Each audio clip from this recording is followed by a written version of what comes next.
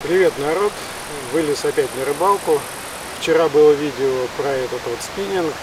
Э, это спиннинг Eagle отдаю, или Джинтай, или Сивейды, одна и та же кондора. Э, с тестом заявлен до 4 грамм и довольно интересным исполнением и совсем небольшой ценой. Утром сегодня половил на него и на микроджик, на мормышку. В целом спиннинг вполне себе работоспособен. Не сказать, что это прям последний писк моды, но ловить э, им можно без проблем. То есть на микроджик э, очень неплохо кидает, вяжет рыбу и чувствительность в руку хорошая. То есть вообще никаких проблем не испытывают.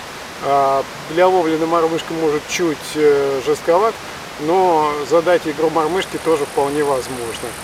На микроджик было поймано два желешка где-то грамм по 300-350 и примерно такого же, даже может чуть побольше подвязка. Ну, не считая э, различных окуней, там граммов от, не знаю, там от 10 до 150-200 грамм, несколько штук. Э, то есть вполне себе работоспособный инструмент за копейки. Э, только единственное, что могу сказать, катушка-держатель очень э, неглубокий и узкий, то есть не каждая катушка туда встанет. Вот Хайба Snow Leopard на него встает нормально. И длинная рукоятка, то есть хочется прям сделать ее либо вообще убрать, отрезать, либо поставить эту намного ближе, то есть вот этот кусок выбросить, сделать покороче. Ну пока, конечно, я это делать не буду, но посмотрим, как пойдет дальше. Так, однолапые кольца нравятся, чувствительность э, достаточная. Э, Хук-кипер поставил, пардон, хук-кипер поставил отдельный, Э, ловил в основном на косодаку двуххвостку, замучили откусывать у меня щурята. Уже, наверное, штук 6 приманок было откусано в разные рыбалки. Так.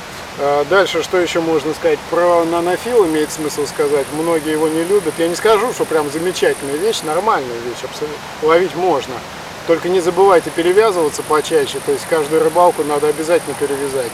И он боится узлов и абразивов, то есть правильный узел тогда нормально будет держать абразив, э, от абразива спасаемся э, поводком, лидером из флюорокарбона, то есть где-то около метра ставим кусок флюорокарбона, и тогда большая часть зацепов нам не страшна. То есть дальше он себя ведет вполне себе предсказуемо, забрасывает хорошо, особенно если пользуетесь мормышками, то имеет смысл половить на него.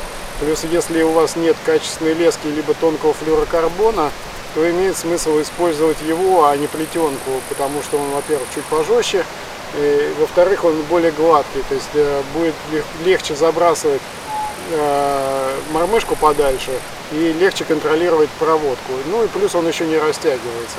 То есть если у вас э, спиннинг не очень хороший, то лучше брать что-то вроде флюрокарбона. То есть получите лучшую чувствительность и дальность заброса.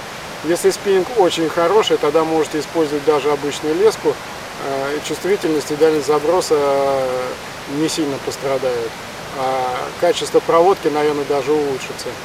Ну, пожалуй, все, что можно сказать пока предварительно. Сейчас поставлю, буду пробовать ловить рыбу.